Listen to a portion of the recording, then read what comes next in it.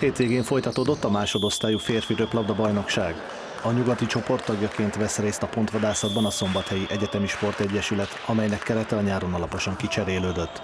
Több meghatározó játékos távozott, míg az érkezők oldalán akadnak rutinos és korosztályos röplabdázók is.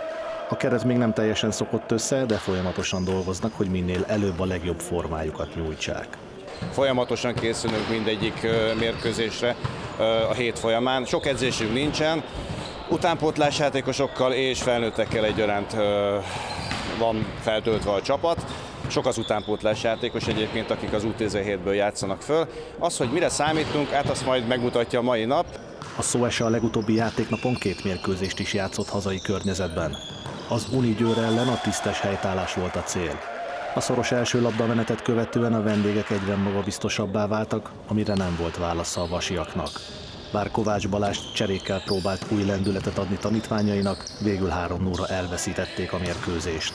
A Győr után a Dunaújváros következett, amely hasonló erőt képvisel.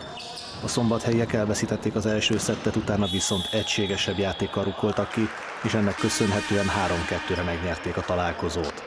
A Szóese így hazai pályán 50%-os eredménnyel zárta a fordulót, és a hetedik helyről várja a folytatást. A most hétvégi játéknapon a szombathelyi együttes szabadnapos lesz.